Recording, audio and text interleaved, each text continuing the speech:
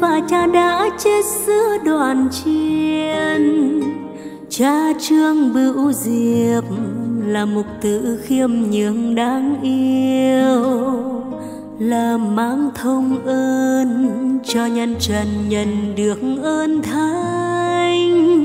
Trong ơn nghĩa chúa, yêu thương nhau mến chúa, chung kiên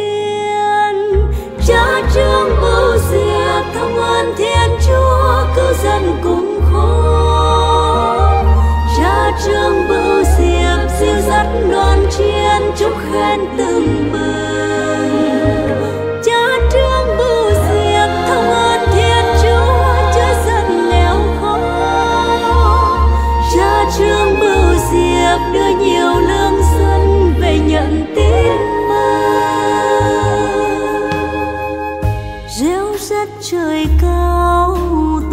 cuộc tâu khúc hòa ca.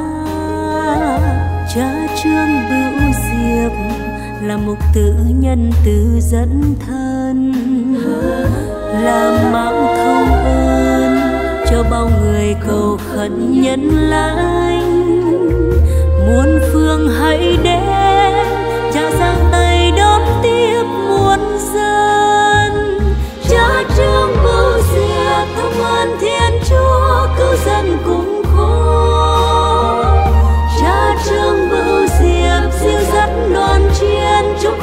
Khen từng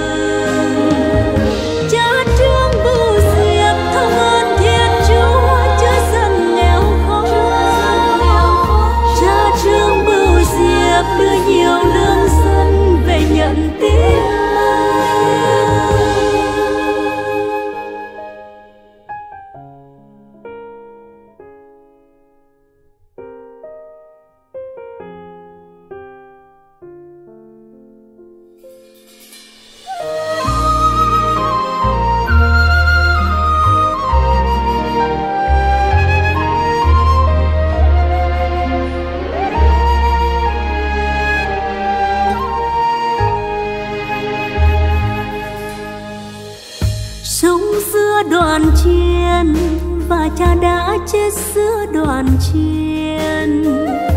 Cha trương bửu diệp là mục tử khiêm nhường đáng yêu.